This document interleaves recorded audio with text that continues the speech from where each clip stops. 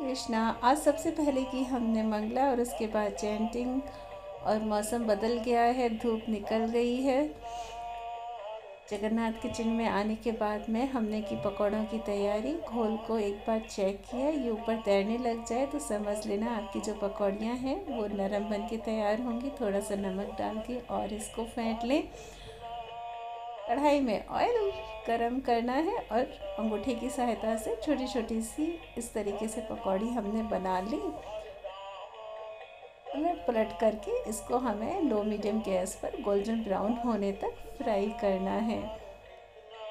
और जैसे ही ये गोल्डन ब्राउन कलर आ जाए, तुरंत हमें इसको निकाल लेना है। और कमेंट करके आप बताइए किस किस को प्रसादम में पकौड़ों वाली जो कड़ी है वो पसंद है। आज मेरे पास में जो दही है ना, वो बहुत ज़्यादा मीठा है। लेकिन एक ट्रिक के साथ इसको हम कढ़ी में यूज़ में लेंगे। फटाफट से दही को भी बचे हुए बेसन के घोल में मैंने फेंट लिया और उसके बाद में हल्दी डाली और थोड़ा सा पानी डाल के इसको पतला कर लिया। कढ़ाई ली। कढ़ाई में दो चम्मच ऑयल, एक लाल मिर्ची सबसे पहले सौंफ डाली, फिर मैंने इसमें अजवाइन और जीरा, मेथी दाना। उसके बाद इसमें मैंने ऐड करी है राई और हाथों से क्रश करके सूखा वाला जो खड़ा धनिया होता है वो, एक पिंच हींग कढ़ी पत्ता और जैसे ये हल्का सा तड़के गए हैं ना खड़े मसाले तुरंत हमें अपनी कढ़ी को ऐड कर देना है। लो मीडियम गैस रखी है इस टाइम और इसमें और पानी ऐड कर दिया है मैंने, लगभग लगभग डेढ़ गिलास। बस इसको लो मीडियम गैस पर इसी तरीके से हमें खतकाना है। यानी एक बॉयल इसमें आ जाए, उसके बाद में एक चम्मच कश्मीरी लाल मिर्च, पाव भाजी मसाला और सूखा धनिया पाउडर डाल के और इसमें खट्टापन लाने के लिए हम लोग डालेंगे अमचूर पाउडर। तो यहाँ दो चम्मच अमचूर पाउडर ऐड किया है। आपकी जो दही हो या छाछ हो, वो खट्टी हो ना तो फिर मत मिलाना। नहीं तो टेस्ट ख़राब हो जाएगा। ये केवल मीठी दही और छाछ के लिए ही है।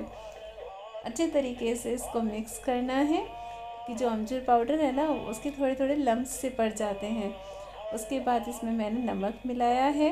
और एक बॉयल आने के बाद पकौड़ी और फिर इसमें कश्मीरी लाल मिर्च का तड़का गर्मा गर्म पूड़ी, जगन्नाथ जी के लिए और साथ में है पापड़, दो तरीके के मैंने पापड़ भी फ्राई किए थे, एक चावल के और एक मक्की के। पापड़ फ्राई करने के बाद में फटाफट से जगन्नाथ जी के लिए प्लेट लगाई। थाली उनकी तैयार की। और सभी का एक क्वेश्चन होता है कि आप तुलसी दल का क्या करते हैं? ऑफ़र करने के बाद में, भगवान को अर्पण करने के बाद में तुलसी दल को मैं उठा के एक कटोरी में रख देती हूँ। और जो भी घर के मेंबर्स होते हैं, जब वो प्रसाद लेते हैं तो सबसे पहले तुलसी दल लेते हैं। और उसके बाद में प्रसाद। क्योंकि कभी कभी ऐसा होता है कि सब्ज़ी है, वो एक्स्ट्रा बन गई है प्रसाद तो उसको हमें ना जब गर्म करते हैं तो उसमें तुलसी दल रह जाए तो वो एक अपराध के उसमें आता है।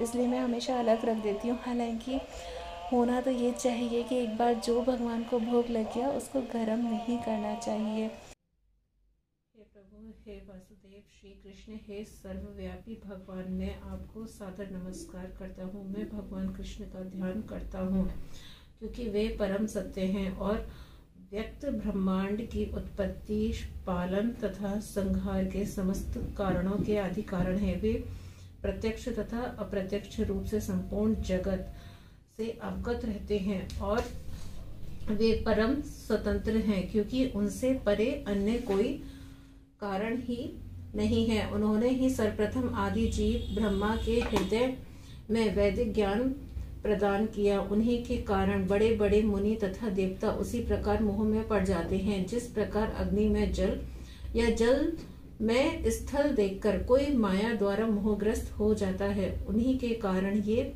समस्त भौतिक ब्रह्मांड, जो प्रकृति के तीन गुणों की प्रतिक्रिया के कारण अस्थायी रूप से प्रकट होते हैं, वास्तविक लगते हैं, जबकि ये अवास्तविक हैं।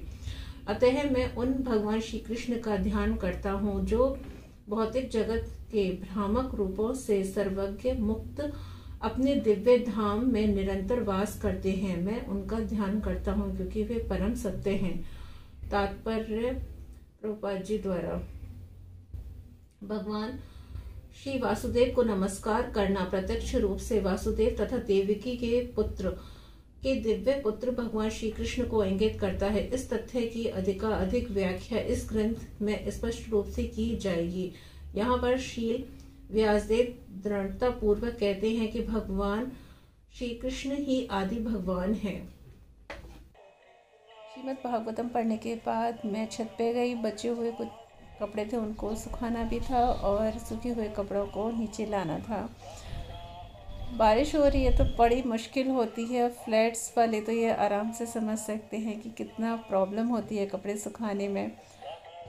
एडिटिंग करने ही बैठी थी कि मेरे पास पार्सल वाले भैया हैं जो कुरियर के हैं करते हैं डिलीवर उनका कॉल आया। हरे कृष्णा भैया।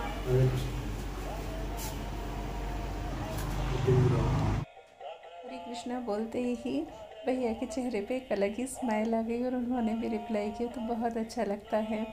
और ये जो गिफ्ट है, वो बरसाना माता जी ने मेरे लिए भेजी है। वो कुछ ना कुछ भेजती रहती हैं, कितना भी मना कर लो उनसे। और ये इतने प्यारे लग रहे थे भगवान बुद्ध के छोटे छोटे से। अभी मैं सारे निकालती हूँ, आप देखना। और वो हमेशा मेरे लिए कभी खिलौने भेजती हैं, कभी प्रभुपाद जी की बुक्स मुझे बड़ा अच्छा लगता है। कभी बीट बैग और उनका कुछ ना कुछ रहता है। उनको हर महीने में कुछ ना कुछ, वो ऐसा नहीं होता है कि किसी बच्चे को भेज रहे हो इस तरीके से। कितना भी उन्हें मना कर लो, लेकिन सच में कुछ अच्छा ही मैंने पिछले जन्म में किया होगा, जो इतना अच्छी डिवोटी एसोसिएशन मुझे मिल रहा है। और ये वाली जो है, वो मैं अब अपनी जगन्नाथ किचन में वीडियोस के लिए यूज़ करूँगी।